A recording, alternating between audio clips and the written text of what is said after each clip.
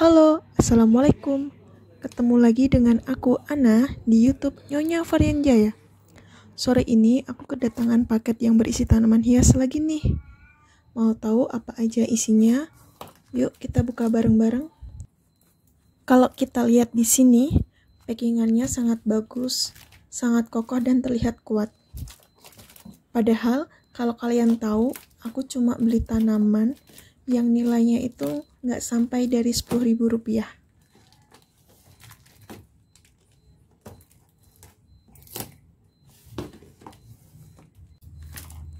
Akhirnya bisa kebuka juga.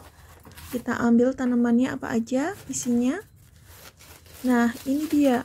Philodendron berlemax dan lili paris. Tanaman ini aku beli satuannya cuma 1.200 rupiah aja. Dan aku di sini beli 5 buah tanaman dan totalnya 6000 rupiah. Murah meriah kan? Tapi tanamannya cantik. Nah, kita siapin media tanam dan juga potnya. Terus kita bongkar tanamannya satu persatu dari plastik polybag.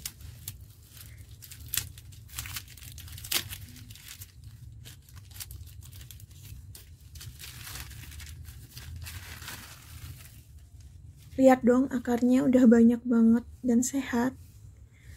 Walaupun daunnya ada yang kuning ya, tapi nggak masalah. Nanti bakalan tumbuh daun baru juga. Kita buka untuk tanaman yang kedua, sama ini masih tanaman berlemak.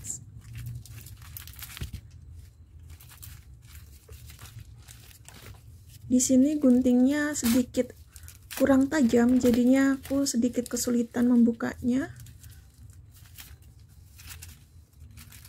Dan ternyata aku salah menggunting. Aku menggunting daun yang masih muda. Sedih deh, gak apa-apa lah.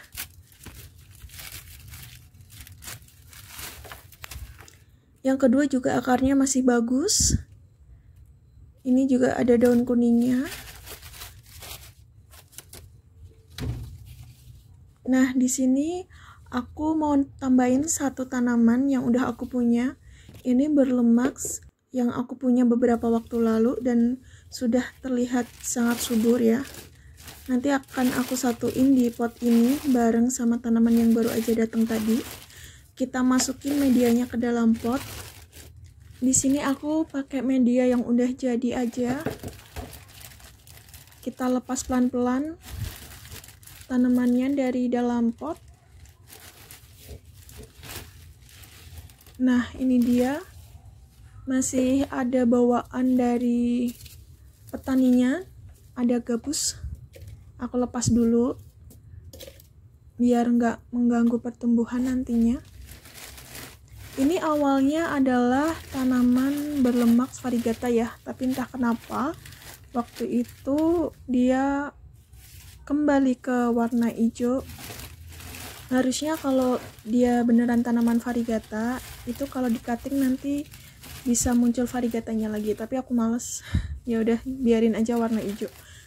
Nah kita uh, selipin tanaman yang tadi yang baru kita beli tadi ke samping kanan kirinya. Diselipin aja karena masih kecil-kecil ya. Dan yang udah besar kita taruh di tengah.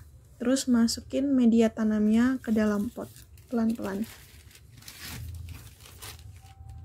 di sini aku pakai plastik aja karena sarung tanganku nggak tahu ke mana.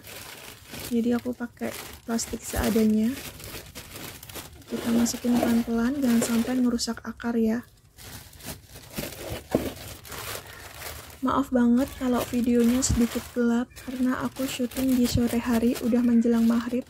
Terus posisi aku itu di belakang mobil jadi cahaya yang masuk itu sedikit harap maklum ya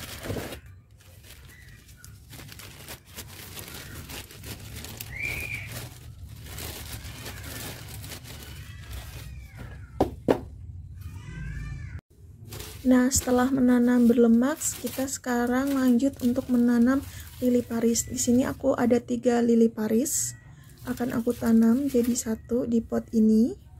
Terus ada juga Lily Paris yang udah dewasa, yang udah rimbun maksud aku mau aku satuin.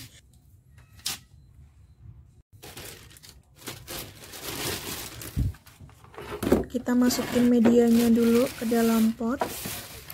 Masih dengan media yang sama.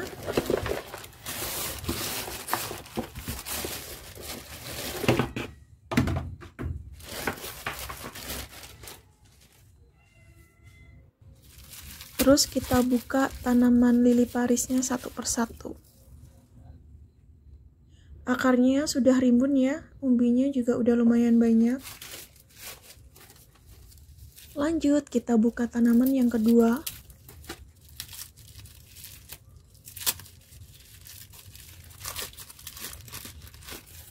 Akarnya juga sama sudah rimbun.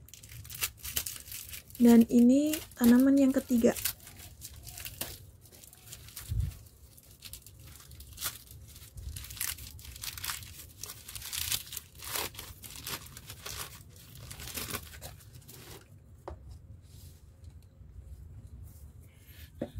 karena menurutku tanamannya udah cukup jadi aku batal buat nyatuin tanaman lili paris yang udah rimbun tadi ke pot ini. Jadi cuma tiga tanaman aja yang aku masukin ke pot ini. Nah terus kita masukin media tanam yang sama yang aku pakai untuk pilot tadi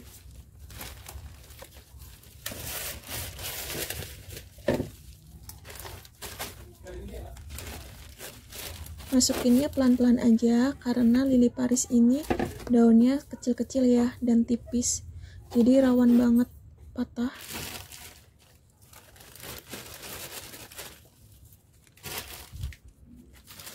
Tutup semua bagian umbi dengan tanah.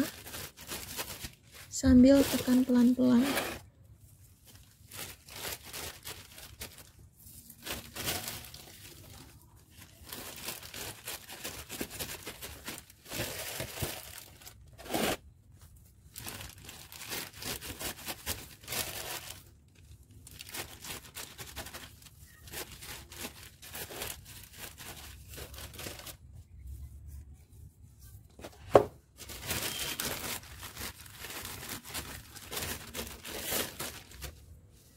Nah, kalau udah selesai kita singkirin dulu. Terus jangan lupa bersihin tempatnya dari sisa-sisa tanah yang jatuh. Aku sukanya bersihin pakai sapu kecil ini. Karena tempatnya sempit jadi enak aja gitu nyapu pakai sapu kecil ini. Sisa-sisa tanah yang jatuh ini kita ambil terus bisa kita masukin ke dalam pot. Bersihin sampai benar-benar bersih sampai nggak ada sisa-sisa tanah yang ada di lantai.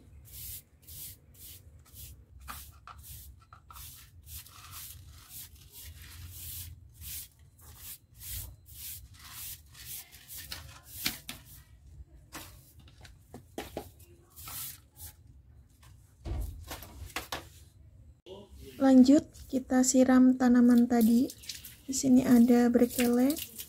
Aku siram dari daun sampai pot-potnya, semuanya aku siram biar bersih. Disiram kocor sampai benar-benar basah ya.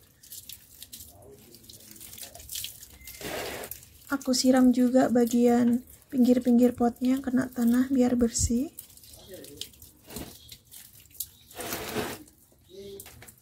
Nggak lupa lili paris yang udah rimbun tadi juga aku siram sekalian. Dan ini lili parisnya tadi. Aku siram juga.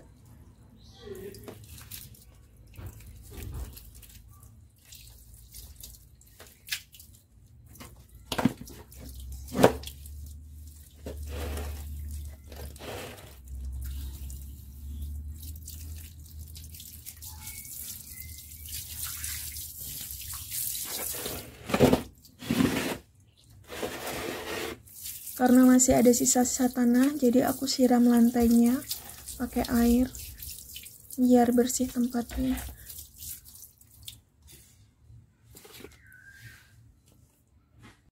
Nah kalau udah kita letakin tanamannya di tempat yang teduh dulu karena kalau kena sinar matahari langsung takutnya tanaman ini belum kuat.